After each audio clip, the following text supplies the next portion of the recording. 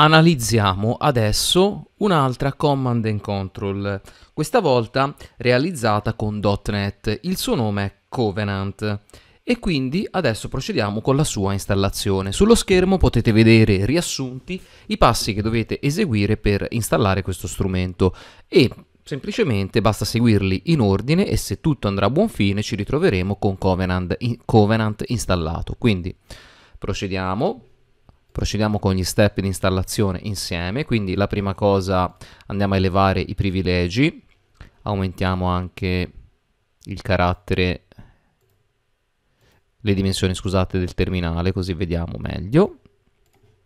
Ok, procediamo quindi sudo su, cali, clear,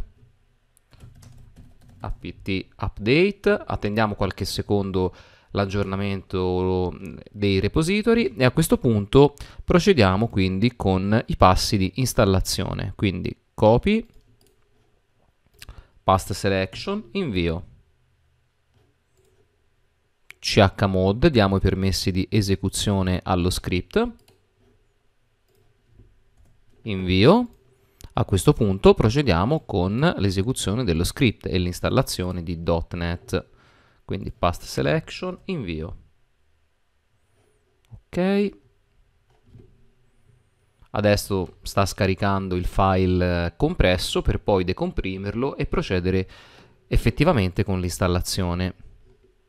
Quindi attendiamo qualche secondo per poi andare a effettuare il git clone del repository Covenant, per poi successivamente andarlo a eseguire. Come si può osservare anche dal passo numero 7, lo ehm, utilizzeremo tramite interfaccia grafica e tramite il web server che automaticamente verrà attestato sulla porta 7443.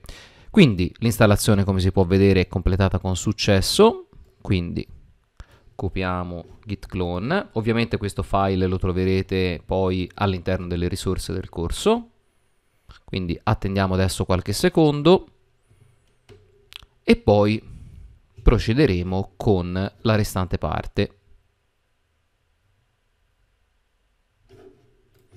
Benissimo, adesso accediamo alla cartella con cd covenant covenant copy past selection benissimo a questo punto attendiamo che .NET e quindi Covenant vada su correttamente. Dobbiamo attendere circa 30 secondi, un minuto, quindi aspettiamo.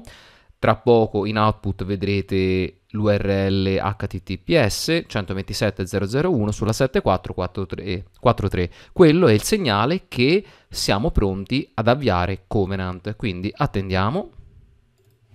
Come si può osservare siamo quindi pronti a connetterci a https 127.001.7443 utilizzando un browser. Possiamo quindi prendere quest'URL, copy selection, aprire il nostro browser, Firefox,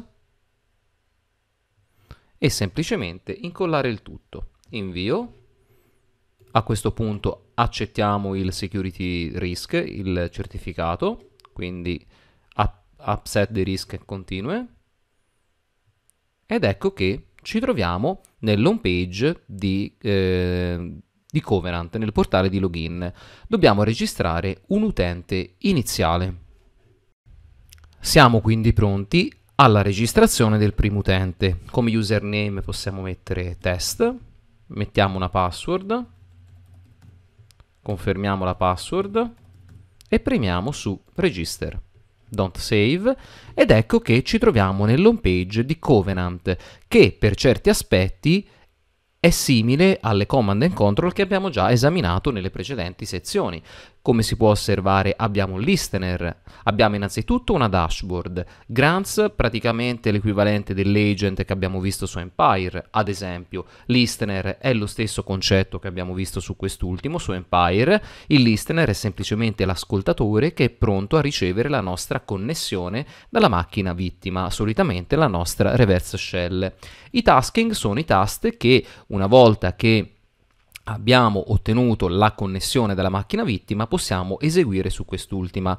Poi possiamo accedere proprio ai vari tab. Listener, in questo momento ovviamente non abbiamo creato alcun listener, quindi è tutto vuoto. Launcher, questo sarebbe il, eh, vediamolo come il payload, la tipologia di payload che ci servirà poi per triggerare la nostra connessione. E possiamo scegliere, possiamo creare un pacchetto con MS Build, possiamo utilizzare PowerShell o possiamo utilizzare tutte queste opzioni opzioni che lo strumento ci mette a disposizione. Grants, l'equivalente dei nostri agent, in questo momento non ne abbiamo nessuno perché non abbiamo agganciato ancora alcuna connessione. Abbiamo eventuali template che si possono utilizzare per eh, semplificare il processo di ottenimento della connessione eventuali task, questi sono tutti task che si possono lanciare una volta che otteniamo l'accesso alla macchina. In questo momento qui in tasking si visualizzano i task correntemente lanciati, al momento non ne abbiamo. Graph abbiamo una visualizzazione grafica del listener e dei grant eh, che sono stati eh, utilizzati e deployati. Data, varie informazioni ottenute dopo, aver, ehm, dopo la fase iniziale di accesso e poi ovviamente gli utenti che sono registrati, in questo caso solo test. Ci vediamo nel prossimo video per iniziare una prima configurazione. Eccoci che, che, ci troviamo sulla dashboard di Covenant e siamo quindi pronti a partire con la, con, con la, configurazione. La prima operazione da effettuare è quella di andare a creare il listener, quindi andiamo sul listener, create. Benissimo, dobbiamo specificare l'indirizzo IP della nostra macchina Kali Linux per il binding address e il connect addresses. Quindi ci prendiamo l'indirizzo IP della macchina Kali Linux, comando ifconfig, e l'indirizzo IP è 192.168.126, quindi utilizzeremo quest'ultimo. 192.168, scusate, 1 Allora, non mi fa scrivere l'indirizzo, come mai? Vediamo un po'. Riproviamo, create.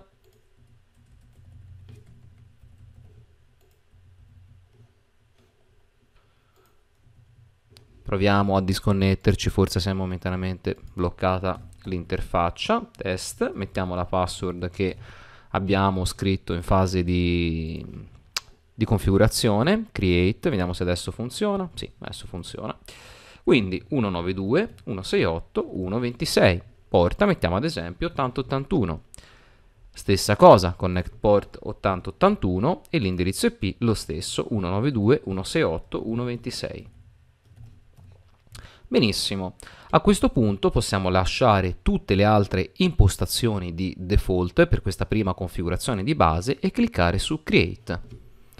Ecco che abbiamo creato e definito il nostro listener che in questo momento è passato nello stato attivo, vuol dire che siamo pronti a ricevere una connessione sulla porta 8081 all'indirizzo IP della nostra macchina Kali Linux che è 192.168.1.26.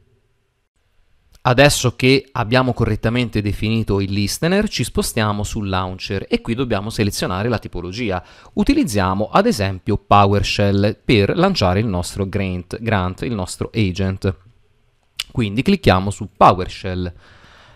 A questo punto abbiamo varie configurazioni che si possono effettuare. Noi tuttavia lasciamo pure le impostazioni di default e l'unica cosa che dobbiamo fare è cliccare su Generate. Cliccando su Generate apparirà il codice PowerShell che dobbiamo poi andare a eseguire sulla nostra macchina vittima, che ovviamente sarà una macchina Windows, utilizzando come meccanismo di deploy, come linguaggio più che altro di deploy PowerShell. Quindi non ci resta altro che cliccare su Generate Volendo possiamo anche scaricare direttamente il file, noi semplicemente lo copiamo. Eccolo qui, questo è tutto il codice, tasto destro, copy e lo andiamo semplicemente a incollare su un file, quindi sudo su, cali, benissimo, a questo punto nano mio PowerShell cov per Covenant, benissimo, invio, incolliamo il tutto, past selection,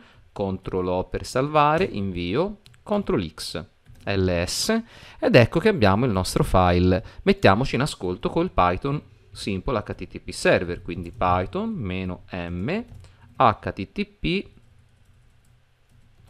simple http server invio. Siamo in ascolto sulla porta 8000 quindi cosa facciamo adesso? Ci spostiamo sulla macchina Windows, il nostro bersaglio, che adesso vedete sullo schermo, e ci andiamo a connettere a quell'indirizzo IP sulla porta 8000, quindi 192.168.126, due punti, porta 8000. Benissimo, cerchiamo il nostro file ed eccolo qui, mio PowerShell Cove, tasto destro, Save Link As, Desktop, ok. Benissimo, a questo punto il nostro file si trova sul desktop ed ecco che siamo quindi pronti a eseguirlo. Siamo quindi pronti a eseguire il nostro comando PowerShell. Innanzitutto apriamo il comando, tasto destro, Open With, Notepad ed ecco il nostro codice PowerShell. In questo momento se io mi risposto, mi risposto sulla mia macchina Kali Linux e vado su Covenant e vado su Grants, come si può osservare non c'è niente, proprio perché ancora non abbiamo avviato niente. Adesso cosa facciamo? A, eseguiamo questo codice PowerShell e mi aspetto, se tutto andrà a buon fine, di vedere il grant qui. Per cui andiamo a eseguirlo, non dobbiamo fare altro che copiarlo, CTRL A, copy, e avviare PowerShell, quindi avviamo PowerShell, Windows PowerShell, semplicemente lo copiamo, tasto destro, ed ecco che viene tutto copiato, premiamo invio e adesso se tutto è andato a buon fine dovrei vedermi il grant apparire. Ed eccolo che grant activated immediatamente appare. Ripeto questo è il nostro praticamente il nostro agent. Adesso siamo agganciati alla nostra macchina vittima. Possiamo ovviamente vedere lo name, possiamo vedere lo user e altre informazioni, tipo il last check-in, l'ultima volta che l'agent, che la macchina, che appunto il nostro che Covenant ha contattato l'agent sulla nostra macchina vittima. Possiamo vedere anche lo status e varie altre informazioni. Adesso nel prossimo video andremo ad interagire con quest'ultimo. Siamo quindi pronti a interagire con il nostro grant. Basta cliccare su quest'ultimo e come si può osservare innanzitutto abbiamo le varie info, quindi tutte le informazioni che è riuscito a estrarre dalla nostra macchina Windows, dalla nostra macchina vittima, quindi ad esempio l'IP address, l'host name, la tipologia di sistema operativo, lo username con cui ci siamo agganciati, lo user domain name e varie altre informazioni come si può vedere quello che noi interessa è Interact, qui possiamo andare a interagire con la nostra macchina. Interact e qui possiamo lanciare tutta una serie di comandi che eh, Covenant ci mette a disposizione e anche in questo caso vi invito a sperimentarli perché sono moltissimi. Banalmente possiamo digitare il comando pvd, quindi comandi molto, molto essenziali, ecco che ci viene suggerito pvd invio ed ecco che adesso è stato mandato un task di esecuzione di questo comando. I comandi che possiamo lanciare sono veramente moltissimi, dobbiamo attendere qualche secondo e ci dovrebbe tornare ecco il risultato del path in cui ci troviamo, ovvero C user administrator, ma possiamo lanciare moltissimi eh, altri comandi, possiamo ad esempio lanciare il comando screenshot per ottenere uno screenshot della nostra macchina vittima, quindi screenshot, invio, ed ecco che adesso è stato inviato il task alla macchina Windows e se tutto andrà a buon fine otterremo lo screenshot preso dalla nostra macchina Windows. Vediamo. Ed ecco che abbiamo ottenuto perfettamente lo screenshot della nostra macchina Windows. E ne abbiamo veramente tantissimi di moduli che si possono utilizzare, ad esempio abbiamo un keylogger, il modulo keylogger che ci permette di registrare tutti i tasti che vengono digitati sulla macchina vittima. Quindi keylogger, keylogger 20 vuol dire che si mette in ascolto per 20 secondi. Proviamolo. Keylogger 20, invio, spostiamoci a questo punto sulla macchina Windows e proviamo a digitare qualcosa, tipo ciao. Benissimo. Adesso ci rispostiamo nuovamente sulla nostra macchina Kali Linux e vediamo se è riuscito a registrare. Come si può osservare, ecco qua che è riuscito perfettamente a tracciare ciò che abbiamo scritto. Ciao, qui parte da qui ed ecco che il nostro keylogger sta funzionando correttamente e poi abbiamo un sacco di altre possibilità. I comandi che si possono utilizzare sono moltissimi.